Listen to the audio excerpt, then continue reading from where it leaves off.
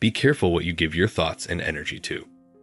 When a number of people gather around an idea or belief, their thoughts and desires create a living entity. It is a law of the spirit world, and it exists even if this entity is not made up of enough material particles to be seen and touched. This collective entity is called a egregor. Therefore, an egregor is a living, active entity, and every country, every religion, and every current of thought contains an egregor.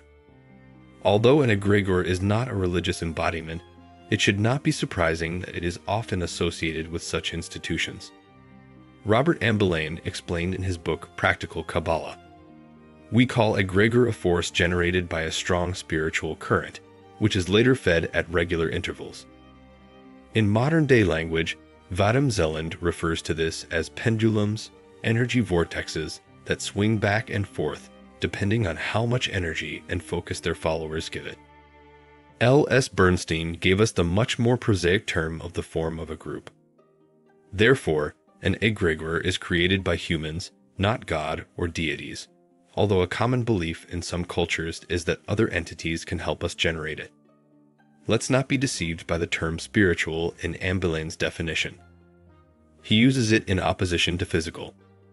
It is not a physical creature, no living, independent organism, but rather an artificial entity. A common idea and belief create egregor, and as such, it must be fed continually so it does not disappear. Ambelain gives an extremely clear example when he speaks of the body of Christ, the heavenly Jerusalem, and the mystical church. They are an egregor, and these dogmas are used to describe the heart of the great spiritual current of Catholicism. Even Protestantism, Islam, Buddhism, and Freemasonry have egregors. A perfect example of an egregor in Catholicism is the mention of the devil and demons. That is pure fiction, such creatures do not truly exist. But our imagination and beliefs give power to the birth of such entities in the spiritual world. The true definition of the devil or Satan is our uncontrolled imagination. Meaning, it makes us weak if we believe the power of our illusion that we are not worthy or deserving. We only sin against ourselves when we start believing such thoughts. The Bible is externalized, meaning we have been taught to seek God and Christ outside of us instead of within. God resides within us. God is unconditional love, and Christ is a higher state of consciousness. The main political ideologies also tend to create an egregor. Let's take aliens, for example. They also do not exist. It's a psychological operation that started in the 1940s and has been implemented in people's minds through science fiction movies up to this day. You probably think this is a load of nonsense, and I know you're having a hard time believing this. It's called cognitive dissonance, a mental conflict that happens when beliefs don't align with actions.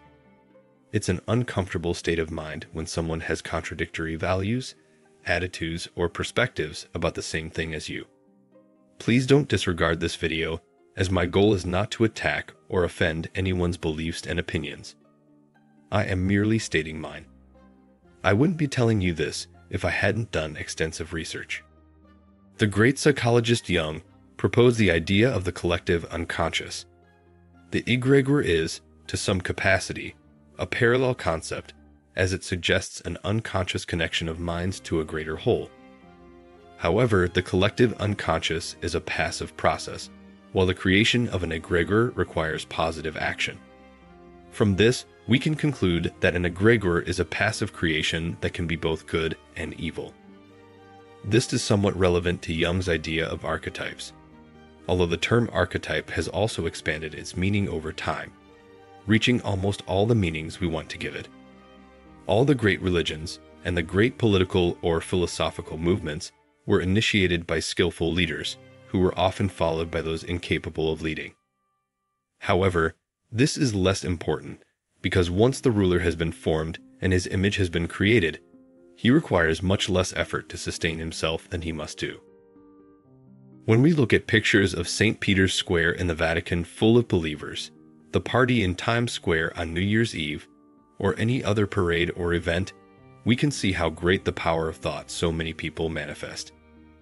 Hitler used a knowledge of Hermetic principles for an evil, negative purpose, and he was one of the few people who, unfortunately, created such a powerful egregor by manipulating German citizens. That egregor still exists, and people feed it unconsciously. You see, an egregor doesn't require large crowds nor extraordinary emotional efforts to be created. Focusing is more important than a general emotion laden atmosphere. And a few people who focus properly are just as effective as the restless manifestations of a hysterical crowd. The egregor of initiation societies is so powerful because not a drop of energy is lost. Once created, an egregor must be fed to survive. The energy required for this is much less than that required for its establishment. But in any case, egregor must be fed from time to time to sustain itself. Be it religious services, military parades, or popular gatherings, the meetings of those who generated this entity are important. A handful of people usually lead these establishments because maintaining an egregor always requires an inner circle to focus and direct the energy to achieve the desired goal. The inner circle may not necessarily understand the true nature of what it does. However, this is usually the case in insider groups. These establishments instinctively ensure the production of the necessary energy. The most powerful way to produce energy is by performing a ritual. A regularly repeated ritual maintains the egregor in all religions and nations alike. When Communist Russia rose to power, relinquished its monarchy, and turned its back on the Orthodox Church, it was propelled to hold military parades and large popular gatherings, equally full of pomp and rituals, to feed the newly formed egregor. As long as people believe, the ruler will exist. With time, a mature egregor can become a somewhat independent existence. When this happens, the consequences can be tragic. When the visionary leader of a movement dies or is killed, and others take over the movement, its original ideas are often compromised or sometimes entirely changed. Then we say that those who took over the organization's leadership led it to meet its own petty goals, driven by malice and greed. And here is an important question we need to consider couldn't the egregor itself lead these people astray? The most effective way to quickly destroy an egregor is to use fire. If someone can destroy an egregor permanently, it will disappear immediately. In ancient Egypt, a cult was eliminated by erasing any trace of it, as was the case with the demolition of the monuments of Pharaoh Akhenaten in the city of Al Amarna. However, the Romans did not know that throwing fire alone destroys an egregor while the blood sacrifice strengthened it. It is a lesson known in most religions. When the Romans shed the blood of the Christian martyrs, the end effect strengthened their egregor, which ensured their victory. Let us not overlook the fact that Christianity destroyed the temples of the gods of antiquity or transformed them into churches. At the same time, the Inquisition was well acquainted with these things, for it burned the so called heretics and books along with their prayer. It was done in order to be sure of the complete disappearance of heresy. In fact, what the Inquisition claimed was heresy was actually the knowledge of the truth. And this happened many times throughout history, and it is still happening today. We find echoes of such thinking in the burning of the Library of Alexandria, which modern historians believe has held all the ancient knowledge and wisdom. Once humankind regained this forgotten knowledge over centuries, World War I happened with the deliberate purpose of destroying this knowledge and enslaving humanity into an industrial way of life. Then there's Kristallnacht or the Night of Broken Mirrors.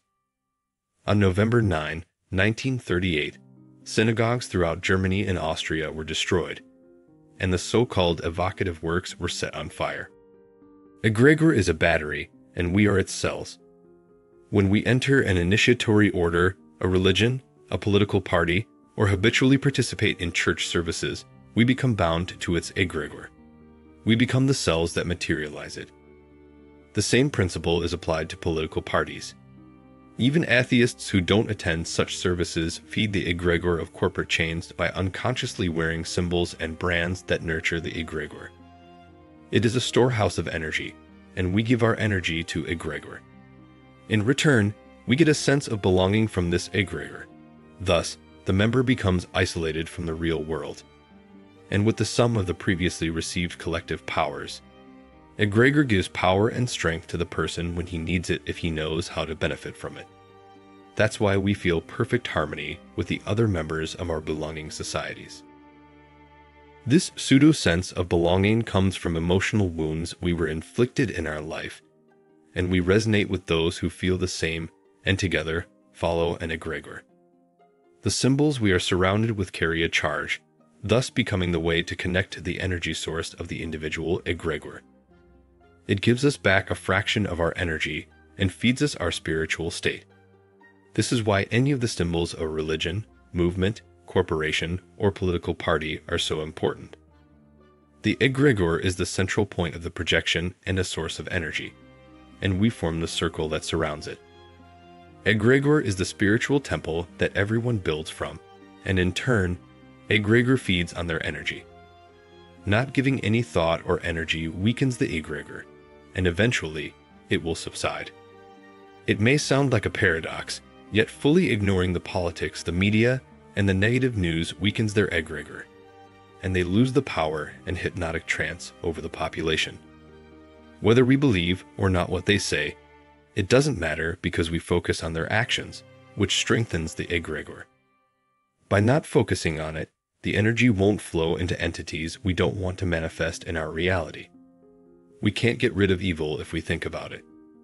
Energy flows where attention goes. Let's focus on the positive and nurture the positive if we want love, joy, and happiness in the world. I recommend watching Vadim Zeland's videos on transurfing reality. It's good stuff. Thank you for watching.